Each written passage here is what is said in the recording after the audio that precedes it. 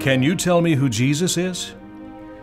In the book of Acts, Luke chronicles the divinely appointed encounter between the Ethiopian eunuch and Philip the evangelist.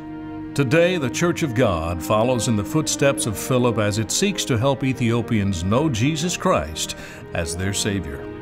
The Harvest Church of God in Ethiopia is doing this by evangelizing unreached tribal groups planting new churches, organizing kindergarten and elementary schools, digging water wells, and equipping young ministers.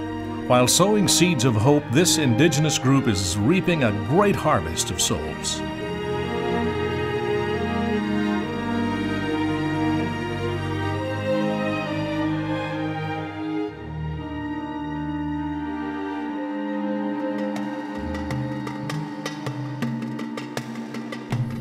Ethiopia has a population of 85 million composed of 80 tribal groups, each speaking their own language.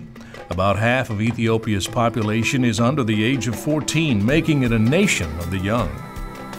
Although an ancient Orthodox Christian church exists, it does not preach the full gospel. One third of the nation is Islamic.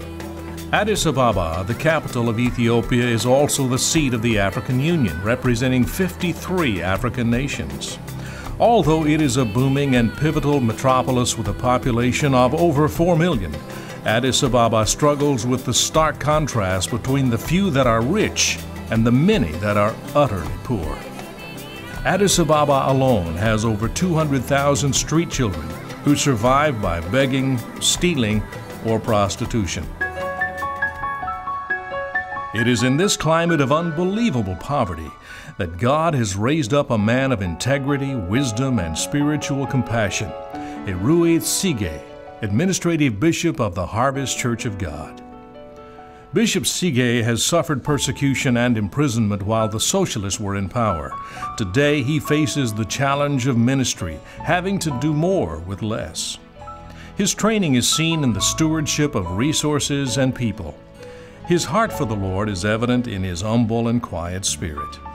God has planted in him a vision of hope for the children, the poor, and the unreached.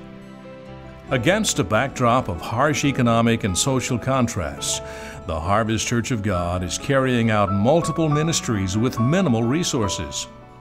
120 local congregations with 30,000 adult members are led from the national offices in Addis Ababa. These offices are housed in a cramped, deteriorated building rented from the government near a major slum area. Yet this ministry center is abuzz with activity despite erratic electricity and no running water. Outreaches to unreached people groups are coordinated in this humble setting, as well as the training of national leaders. In the confined courtyard, street children come to a makeshift shelter to receive spiritual care. Enlarged by a tarpaulin, a local church also uses it as a sanctuary.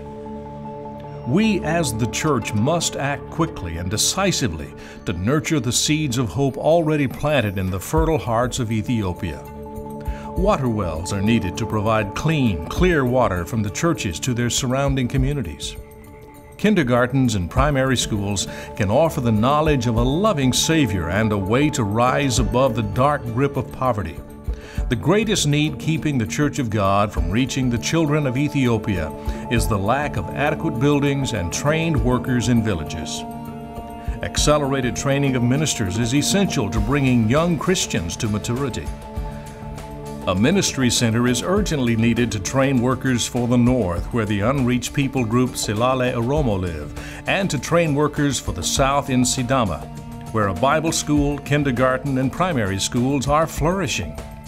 Bishop Sige reports In our culture, the image of our national office is not only important to our own people and their self image, but also critical in our relations to the government and other agencies. A stalwart hope is rising in Ethiopia out from the shadows of Muslim mosque, abject poverty, and perpetual lack. The seeds of hope are in the good, rich soil of mature leadership with integrity hope is rising out of the vision already cast. Won't you let the hope that is in your heart spill out into the lives of this young Ethiopian nation? As Philip came to the aid of the Ethiopian eunuch, you and I can do our part to meet the challenges facing the Harvest Church of God. Plant seeds of prayer, plant seeds of support, plant seeds of hope.